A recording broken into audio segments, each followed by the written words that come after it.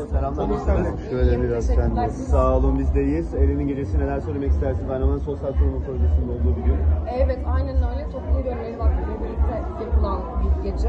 Ee, ayrıca 25. yılı olması çok kıymetli bence bir derginin. Hani bu tip yapılar ne kadar, e, ömrü ne kadar uzun olursa, ne kadar e, sürekliliği olursa o kadar bir gelenek haline geliyor. E, o yüzden de 25. yılında burada olmaktan çok mutluyum.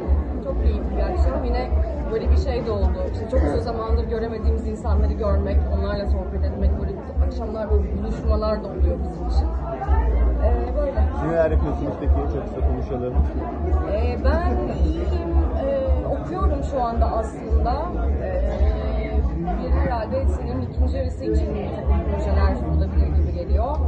Ee, film adayla Armağan Lale ile yapımcılığını yaptığımız e, Strange Abandoned Range diye bir var. O e, Filmlemada dünya premierini yaptı. Sonra Almanya'da ve İrlanda'da da premier yaptı aynı zamanda. Onun heyecanı var. Ee, biraz dinleniyorum bir yandan. Biliyorsunuz dizi olduğu zaman çok yoğun bir programa giriyoruz. O yüzden şimdi yine biraz böyle bir sakin geçen bir dönemdeyim. Böyle. Peki çok teşekkür ederim. Çok sağ olun. Ben teşekkür ederim. İyi akşamlar herkese.